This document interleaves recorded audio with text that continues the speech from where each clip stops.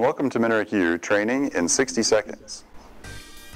This is part two of an overview of motion control using servo systems. Technically, regardless of the motor technology used, any system that uses feedback can be called a servo system. In motion control, most servo systems use brushless motors and drives. Depending on the type of movement required from the motor shaft, brushless drives are available to run in different control modes, velocity, torque, or position. Velocity mode drives are meant to control the speed of a rotating shaft and minimize its variation. Brushless servos usually offer impressive speed range and regulation.